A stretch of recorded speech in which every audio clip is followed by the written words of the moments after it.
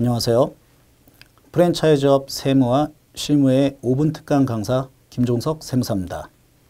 자, 이번 시간은 프랜차이즈업의 주체인 가맹본부와 가맹점 사업자가 준수할 사항에 대해서 알아보도록 하겠습니다.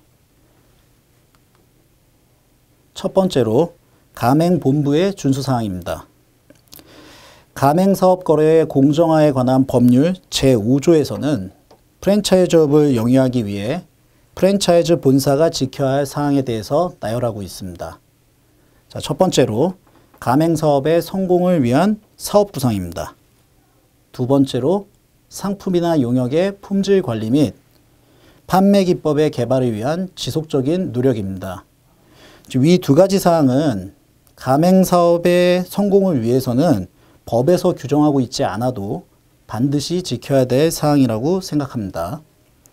자, 세 번째, 가맹사업자에 대하여 합리적인 가격과 비용에 의한 점포의 설치, 상품 또는 용역의 공급입니다.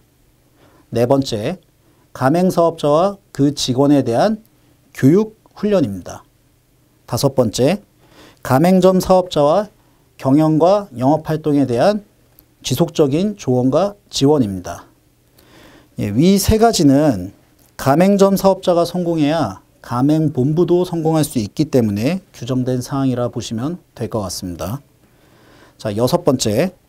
가맹 계약 기간 중 가맹점 사업자의 영업지역 안에서 자기의 직영점을 설치하거나 가맹점 사업자와 유사한 업종의 가맹점을 설치하는 행위를 금지하는 것입니다. 이는 자금이나 인력 등 가맹점 사업자보다 유위에 있는 가맹본부가 가맹사업을 위해 반드시 지켜야 할 사항입니다. 자, 마지막으로 가맹점 사업자와의 대화와 협상을 통한 분쟁 해결 노력 같은 도의적인 측면도 준수해야 합니다. 자, 다음은 가맹점 사업자의 준수사항입니다. 자, 가맹사업법 제6조에는 프랜차이즈업을 영위하기 위하여 가맹점 사업자가 지켜야 할 사항을 나열하고 있습니다. 자, 첫 번째, 가맹사업의 통일성 유지. 두 번째, 가맹본부의 공급 계획과 소비자의 수요 충족에 필요한 적정한 재고 유지 및 상품 진열. 세 번째, 가맹본부가 상품 또는 용역에 대하여 제시하는 적절한 품질 기준의 준수. 네 번째, 가맹본부가 사업장의 설비와 외관, 운송수단에 대하여 제시하는 적절한 기준의 준수입니다.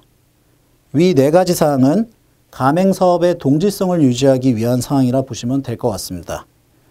다섯 번째, 취급하는 상품 용역이나 영업활동을 변경하는 경우 가맹본부와 사전 협의. 여섯 번째, 가맹본부의 동의 없이 사업장의 위치 변경 또는 가맹점 운영권의 양도 금지. 일곱 번째, 가맹 계약 기간 중 가맹 본부와 동일한 업종의 영위 금지. 자, 마지막으로 가맹 본부의 영업 기술이나 영업 비밀의 누설 금지가 있습니다. 다섯 번째에서부터 여덟 번째까지의 사항은 가맹 계약과 관련된 사항으로 이를 위반 시 가맹 계약의 해지, 손해배상 등의 불이익이 발생하므로 가맹점 사업자는 이를 반드시 준수하여야 합니다. 이상으로 프랜차이즈업의 세무와 실무 5분 특강 강사 김종석 세무사였습니다. 감사합니다.